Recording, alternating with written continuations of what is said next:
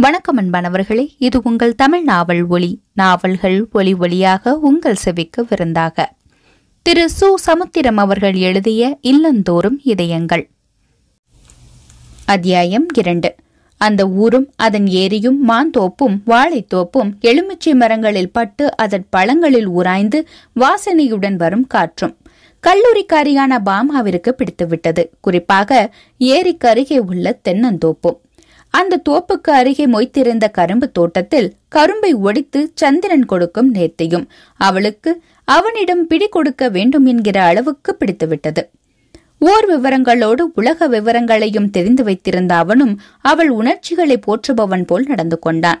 அரக்கோணத்திலேயே பிறந்து வளர்ந்து அங்கே வீசும் தொழிற்சாலையின் கரித்தூள்களை சுமந்து வரும் காற்றாலும் சென்னை கல்லூரி விடுதியில் உஷ்ணத்தை உக்கிரப்படுத்தும் காற்றில் வெந்தும் நொந்தும் போயிருந்த பாமா அந்த கிராமத்து காற்றில் தங்கு தடையில்லாமல் குமணவள்ளலை போல் வீசிய காற்றில் குளிப்பவள் போல் தன்னை மறந்து தலைமுடியை விரித்து அப்படியே மெய்மறந்து நின்றிருக்கிறாள்.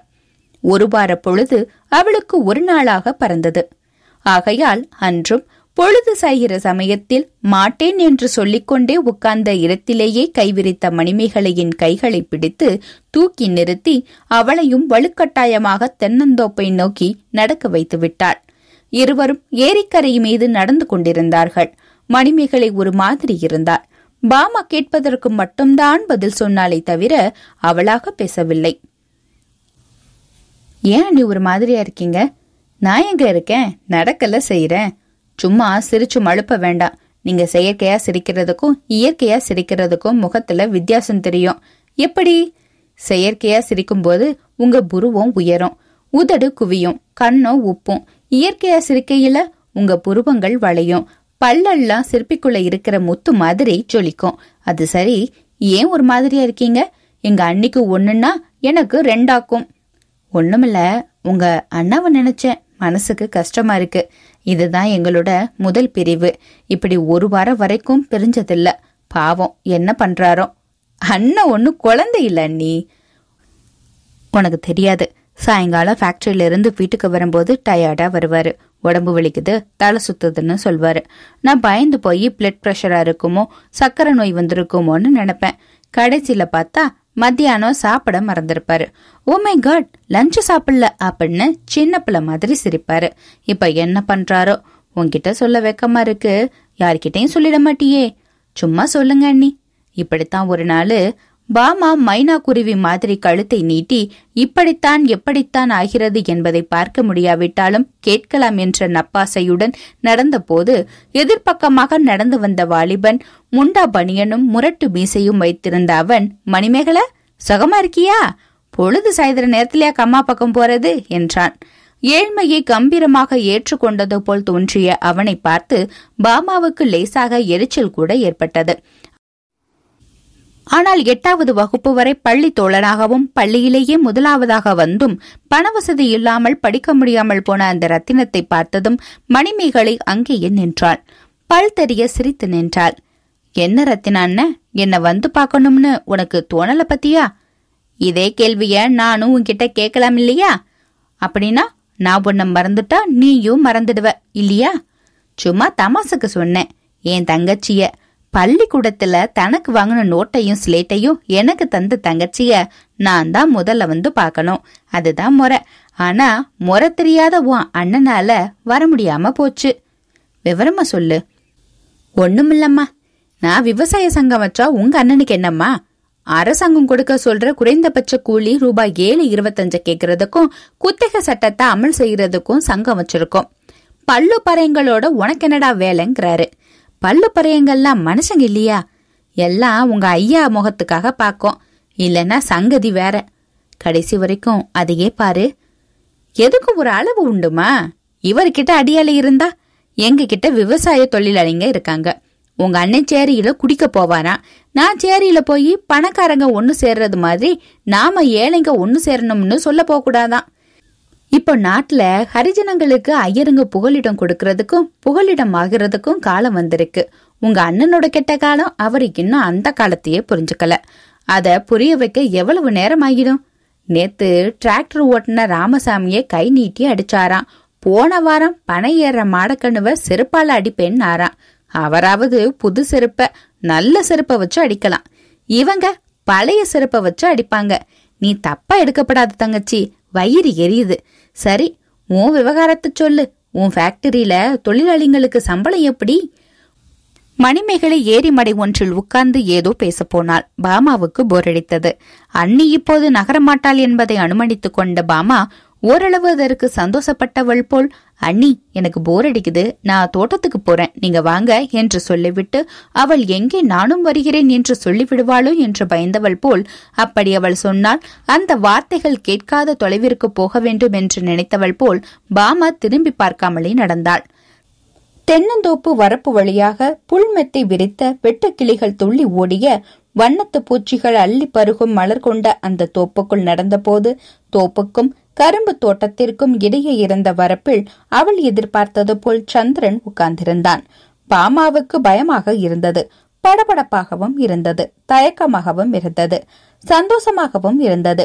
மாநிறம் என்றாலும் கவர்ச்சியுடன் கட்டான உடம்புடனும் எல்லாவற்றிற்கும் மேலாக இதுவரை கோபப்பட்டு பார்த்தறியாத குணபாவத்துடன் சிரித்த முகத்துடன் விளங்கும் அவனை இப்போதுதான் தனிமையில் சந்திக்கிறார்.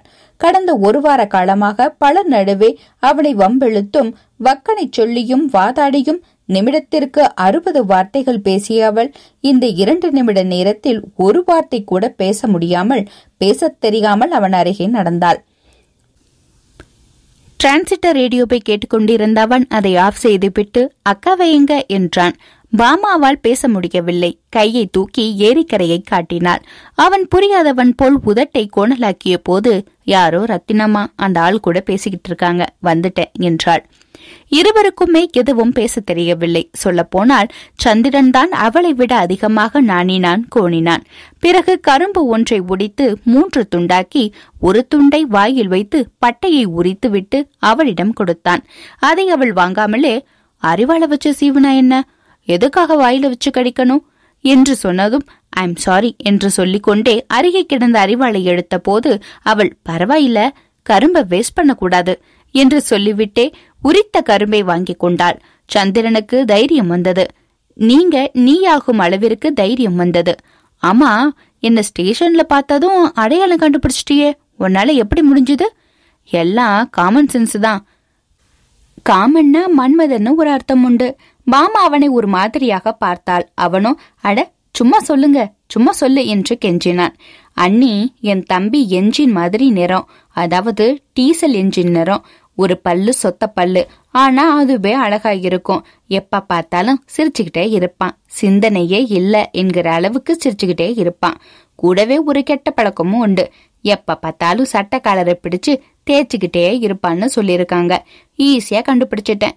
சட்டை காலரை பிடித்து கழுத்தில் தேய்த்து கொண்டிருந்த அவன் திடுக்கிட்டு கையை எடுத்து சட்டை பித்தானை பிடித்து கொண்டே அவளை பார்த்தான் உற்று பார்த்தான்.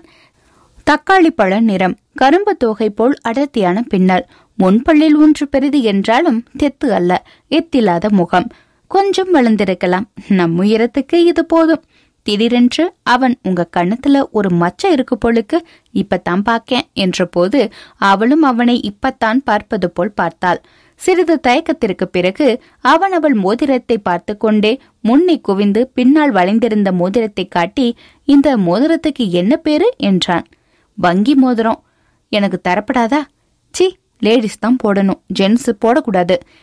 கையை நீட்டுங்க பார்க்கலாம். நான் இப்படிப்பட்ட மோதிரத்தை இப்பத்தான் பார்க்கறேன். அவளும் இப்பத்தான் கையை நீட்டினாள்.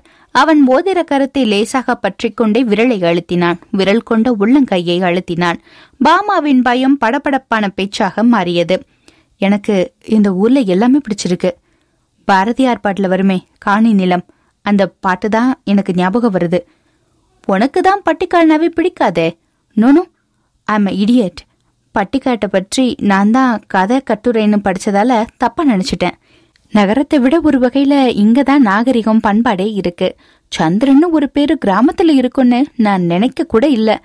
இருபத்தஞ்சு வருஷத்துக்கு முன்னாடியே அந்த பேரு இருக்குன்னா அது பெரிய விஷயம். அம்மா உங்க பேரு நிஜமாவே சந்திரன் தானா? பின்ன என்னவா? எங்க அப்பா இதை விட நல்ல பேர் வைக்கணும்னு சொன்னாராம் அம்மா தான் சந்திரன் நாங்களாம்.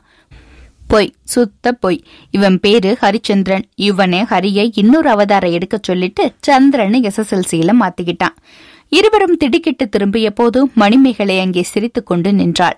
சந்திரனுக்கு தான் பற்றியிருந்த மோதிர கையை விட வேண்டும் என்ற சுரணை வரவில்லை. பாமாதான் தன் கையை வன்முறை பிரயோகத்தால் விடுவித்துக் கொண்டு கையை நான்கைந்து தடவை உதறினாள். மணிமேகலை மேலும் சிரித்தாள். பாமாவை பார்த்து கொண்டே என்ன பண்றது? காதல்னு வந்துட்டா ஹரிச்சந்திரன் கூட பொய் சொல்வான் போலுக்கு. ஆனா இது பாசத்தால் வந்த பொய். நன்மை ஏற்படுவதாயிருந்தால் பொய்யும் சொல்லலான்னு திருக்குறள்ல படிச்சிருக்கோம். இவன் படித்தபடி நடக்கிற பையன் என்றார்.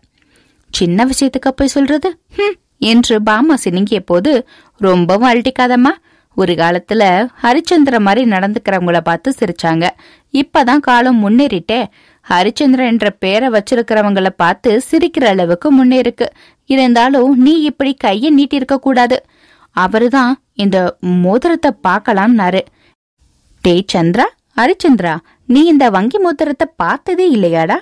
எனக்கு போன வருஷம் இதே மாதிரி வாங்கி தரேன்னு சொன்ன நான் வேணாம்னு சொன்னேனே ஞாபகம் இல்லையாடா? இருவரும் ஞான பிரஜனை இல்லாதவள் போல் தங்கள் தலைகளை தங்கள் கையாலேயே உருட்டிய போது மணிமேகலை பல் தெரிய சிரித்து பாணயம் போல் பேசினாள். கவலைப்படாதீங்க. ஏன் பிரச்சனையும் முடிஞ்சிட்டதால எனக்கு சந்தோஷம். என் பையன் ஜாதகத்தை பார்த்த ஜோஷியர் என் மகன் ஒன்னு தாய்மாம மகளை கட்டுவான் இல்லைன்னா அத்தை மகளை கட்டுவான்னு சொன்னாரு.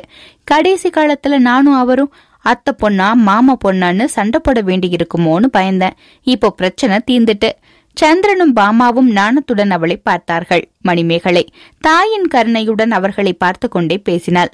நான் உங்க ரெண்டு பேரையும் இணைச்சு வைக்கிறத பத்தி பெரியவங்க கிட்ட சொல்ல போறேன். சம்மதம் தானே? வாய் திறந்து சொன்னாதான் ஏற்பாடு பண்ணுவேன். அக்கா என்று அவனும் அண்ணி என்று அவளும் மணிமேகலின் இரு கரங்களையும் அழுத்தி பற்றி கொண்டார்கள். வாய்கள் பேசாததை கைகள் ஆணித்தனமாக பேசின.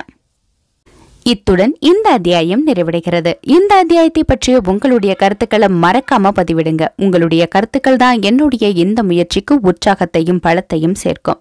மீண்டும் அடுத்த அத்தியாயத்தில் உங்களை சந்திக்கும் வரை உங்களிடமிருந்து விடைபெறுவது தமிழ் நாவல் ஒளி நாவல்கள் ஒளி வழியாக உங்கள் செவிக்கு விருந்தாக. மறக்காம சப்ஸ்கிரைப் பண்ணிருங்க. நன்றி வணக்கம்.